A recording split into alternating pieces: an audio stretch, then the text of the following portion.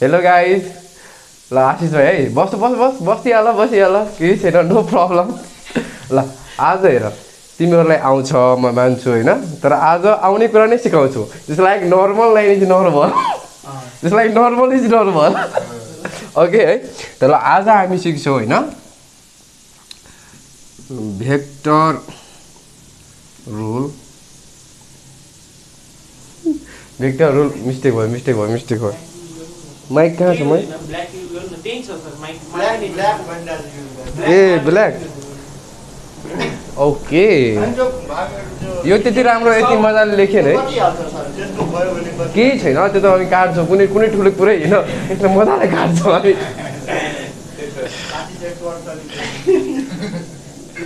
ल आज हामी देख्छौँ है।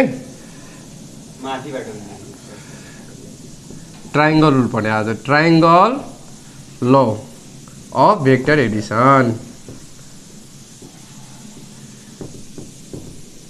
okay ready हो सबैजना? ओके ल। र इङ्ग्लिसमा बोलौँ कि नेपालीमा मलाई त केमा बोलौँ म?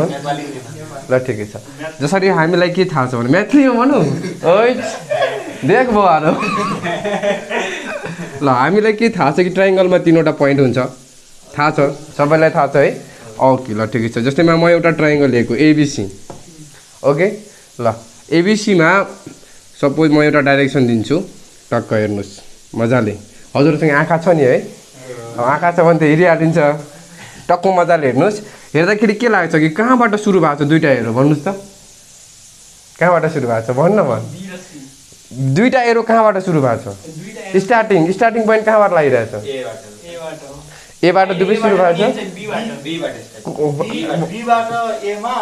होइन कहाँबाट दुइटा एरो स्टार्ट भएको छ? दुइटा एरो।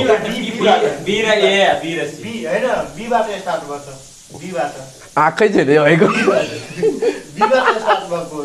हेर कुन कहाँबाट स्टार्ट र इन्ड भनेको थाहा छ नि हजुरहरूलाई? कुन पोइन्टबाट दुईवटा दुईवटा एरो स्टार्ट भएको छ? बीबाट छ है? कहाँ गएर दुइटै एरो इन्ड भएको छ? भन्नुहोस् त। कहाँ गएर इन्ड हुन्छ? दुइटै बाटो ल भन। दुइटै बाटो गएर कहाँ इन्ड हुन्छ ल? होइन होइन। दुइटै बाटो गएर नो इन्ट्रीमा कसरी जान पाउँछौ तिमीहरू? कहाँ गएर इन्ड हुन्छ? यता हेर उता होइन यता हेर न। कहाँ गएर इन्ड हुन्छ भन त? स्टार्ट कहाँबाट भएछ? बीबाट स्टार्ट यता एन्ट्री छ। यता पनि एन्ट्री छ तर यता नो इन्ट्री है? स्टार्ट कहाँबाट भयो? बीबाट इन्ड कहाँ भयो? एमा त्यसो भए ल यो भनेको आशिष भाइको घर हो है। यो आशिष भाइको घर हो है। हो यो कन्हैयाको घर हो। यो कन्हैयाको घर हो है। यो ओकिङ जाने बाटो। सर्टकट र यो भनेको यो भनेको होइन भेहिकल जाने बाटो भयो। भेहिकलबाट जाने बाटो यो भयो। र वकिङबाट जाने बाटो यो भयो। बुझ्यो? अब पार्टी गर्न टाइम आइसकेछ अब आशिष गइरहेछ। कन्हैया नजिक पार्टी गर्नलाई बुझ्यो? ल भन सर्ट रुट कुन हो त्यसो भए? बीबाट एमा त्यसो भए लङ रुट कुन हो? ओइ। बीबाट सीमा अनि सीबाट एमा दुवैजनाको डेस्टिनेसन कहाँ गयो? डेस्टिनेसन सेम हो हो यही हो vector rule of triangle short route equals to long route यति सम्झे पुग्छ। क्लास नाइन टेन फिनिस भेक्टरमा यति चाहियो लङ रुट सर्ट रुट जहिले पनि खोज्ने। Short route equals to long route त्यही हो भेक्टर अफ एडिसन योभन्दा बढी के सिक्नु पर्दैन। यसरी कन्फ्युज हुनु हुँदैन। त्यसो भए एउटा कुरा क्वेसन सोध्छु ल। ल आशिष भाइलाई यो क्वेसन है। आशिष भाइलाई यो क्वेसन ल यो मेरो घर हो। त्यो भाइको नाम के हो? ल मलाई सरवनको घर जानु छ। त्यसो भए मेरो सर्ट रुट के हुन्छ? डाइरेक्सन किन दिनु? तिमीलाई थाहा भइसक्यो त। कि मलाई यो मेरो घर हो। मेरो घर हो मलाई सरवनको घर जानु छ। यो त मेरो घर हो। मलाई सरवनको घर जानु छ। ल भन्नुहोस् मेरो सर्ट रुट के भयो? पीदेखि क्यु र मेरो लङ रुट कुन भयो? पीदेखि आर आरदेखि क्यु यही हो यसलाई के भन्छ हामी ट्राइङ्गल अफ भेक्टर एडिसन भन्छु यसैलाई बुझ्नुभयो यसको लागि डाइरेक्सन दिन्छु दिनु नै पर्छ भन्ने जरुरी छैन डाइरेक्सन नभए पनि तिमीलाई थाहा हुनुपर्छ कि भाइ मेरो स्टार्टिङ पोइन्ट कुन हो र इन्डिङ पोइन्ट त्यति बेला यसले भन्न सकिरहेको थिएँ त्यति बेला भन्नु पर्ने थियो क्या। म अहिले पनि भन्छु थाहा छ क्लासमा अहिले पनि म भन्छु तिनीहरूलाई। है अब यसमा एउटा सिम्पल क्वेसन दिन्छु जुन कि लङ क्वेसन हो तर तिमीहरू इजिली बनाउन सक्छौ है। रेडी ओके ल रेडी सबैजना रेडी बुझ्नुभयो?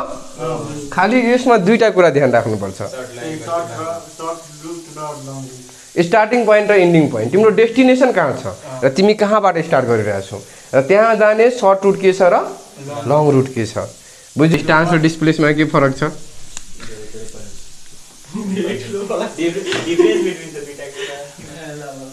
ल त्यसो भए ल यहाँबाट मैले एउटा जर्नी सुरु गरेँ यो पोइन्टबाट सपोज एकछिनको लागि। यो भनेको आशिष भाइ हो है?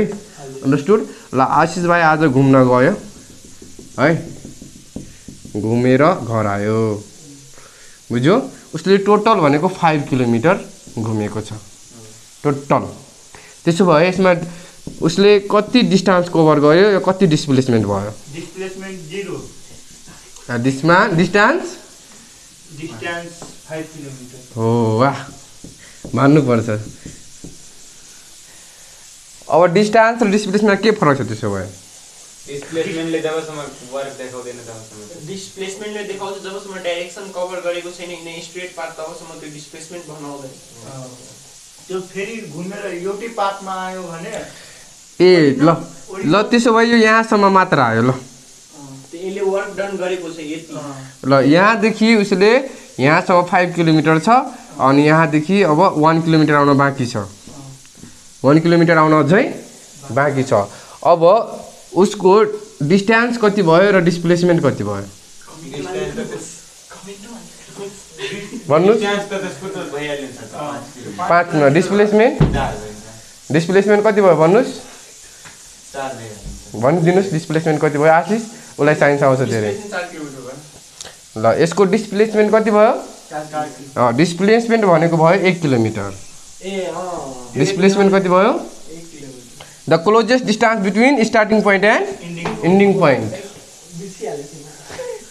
बुझ्नुभयो ल अब एउटा सिम्पल क्वेसन सुरु गरौँ ल। एउटा आजको लास्ट ल question which depend on triangle of vector addition एउटा सिम्पल क्वेसन दिन्छु हजुरले गरेर टक्क।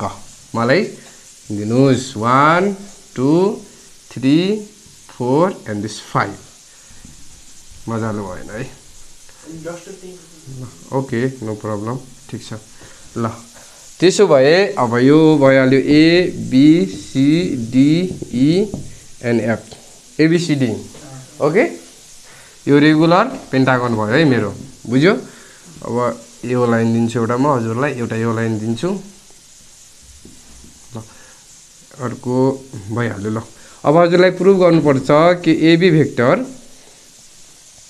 plus BC vector plus CD vector plus DE vector DE vector and then plus DE AE vector EA राखिदिन्छु लास्टमा ल। इए भेक्टर इक्वस टु जिरो एक लाइनले हेर्नुहोस्। AB plus BC plus CD plus DE plus EA अब starting ending भयो zero त हुन्छ नै। अब तर प्रुभ गरेर देखाउनुहोस्। ल मानु पाँच मिनटको लागि स्टोभ भयो। अब पाँच मिनटपछि गरिसक्नु भयो है? ल। यसमा दुईवटा ट्राइङ्गललाई प्रुभ गरेर त्यो देखाउनु पर्छ होइन। भेरी गुड अब हेर्नुहोस्। हामीले लिइरहेको छु एलएचएस अब के लिन्छौँ हामी? एलएचएस के हो भन्नुहोस् त हाम्रो? AB plus BC plus CD plus DE plus EA छ है छ नि यस गुड भेरी गुड अब भन्नुहोस्। यो दुइटाको सर्ट रुट के हो भन्नुहोस् त?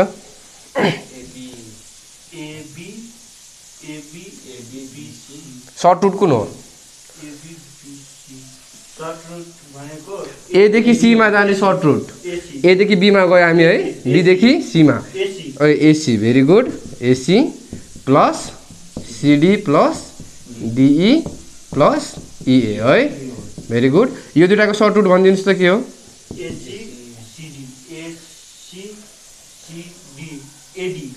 ओ thank you very much AD plus DE plus त्यही भएर त म भन्छु तिमीहरू भनेको जिनियस हो क्या खतरा हो क्या तिमीहरू ल यो दुइटाको सर्ट रुट भन्नुहोस् त के हुन्छ ए हो ल एई प्लस?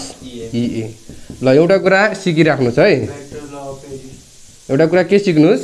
जब भेक्टरमा हामी सर्ट रुट हो यो जब भेक्टरमा हामी लेटरलाई एक्सचेन्ज गर्छौँ नि त साइन पनि एक्सचेन्ज हुन्छ। जब लेटर एक्सचेन्ज गर्छौँ भने साइन। पनि एक्सचेन्ज हुन्छ। भनेपछि यो के भइहाल्छ भन्नुहोस् त?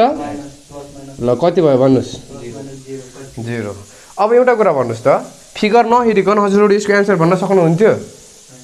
भन्न सक्नुहुन्छ अब हेर्नुहोस् कसरी भन्न सक्नुहुन्छ। बस्नुहोस् एकछिन बस्नुहोस्। अब हेर्नुहोस् कसरी भन्ने। एउटा प्याटर्न खोज्नुहोस्। सपोज दिमागमा है दिमागमा हेर्नुहोस्। बिबी क्यान्सल गर्नुहोस्। के बच्यो भन्नुहोस् त? सिसी क्यान्सल गर्नुहोस्। के बच्यो? डिडी क्यान्सल गर्नुहोस्। के बच्यो? भन्नुहोस् फिगर हेर्नु आइन परेन नि?